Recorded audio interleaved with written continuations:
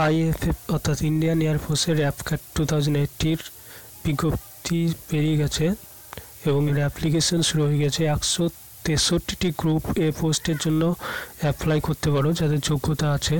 Graduation এবং post গ্র্যাজুয়েশনের technical এবং নন টেকনিক্যালের জন্য তারা অ্যাপ্লাই করতে পারো উভয়ই।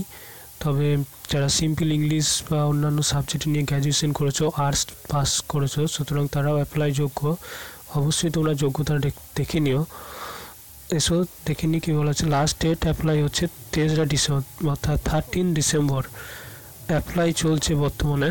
তোমরা অবশ্যই জলদি এই ফর্মটা ফিল আপ করে দিও। খুবই একটা ভালো post এয়ারফোর্সের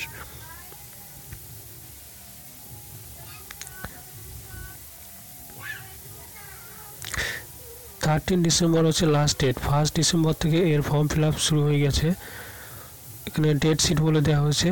Opening date registration December first December two thousand closing date thirteen December two thousand এবং ডেট অফ এক্সামিনেশনও বলে দেওয়া হয়েছে ফেব্রুয়ারি ষোলো ষোলো এবং সতেরোই ফেব্রুয়ারি টু থাউজেন্ড নাইনটিন অর্থাৎ দু সালের ষোলোই ফেব্রুয়ারি এবং সতেরোই ফেব্রুয়ারি দুই দিন পরীক্ষা হবে। এবং এই ধরনের পরীক্ষায় সাধারণত খুব বেশি ওয়েট করতে হয় না। সঙ্গে সঙ্গে চার পাঁচ দিনের মধ্যেই সিলেকশন হয়ে যায়।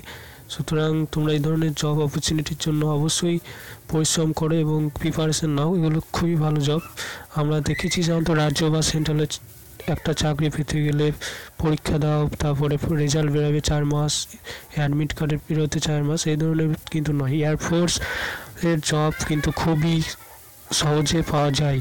খুব কম সময়ের মধ্যে যদি তোমাদের ভালোভাবে প্রিপারেশন থাকে, সুতরাং অবশ্যই এই ধরনের জবগুলো তোমরা অ্যাপ্লাই করবে এবং প্রিপারেশন নেবে। পরবর্তী এলিজিবিলিটি ক্রাইটেরিয়াগুলো দেখো কী বলা হয়েছে।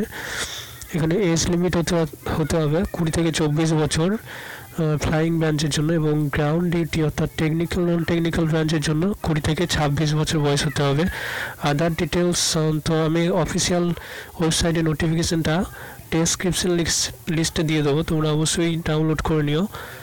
আর এখানে কি বলা হয়েছে? Candidates can download their respective admit card after February one অর্থাৎ ফার্স্ট ফেব্রুয়ারির পর থেকেই তোমরা কিন্তু অ্যাডমিট কার্ড ডাউনলোড করতে পারবে। The course is commencing from January two thousand twenty অর্থাৎ কুড়ি সালে যারা এই পোস্টের জন্য যারা পাস করবে পরীক্ষায়, তাদের কিন্তু জানুয়ারি কুড়ি তারিখ দু হাজার কুড়ি সাল থেকে কিন্তু তাদের কোর্স শুরু হয়ে যাবে training the other details related the examination can be checked from the official notification তোমরা অবশ্যই অফিসিয়াল নোটিফিকেশানটা একবার চেক করবে।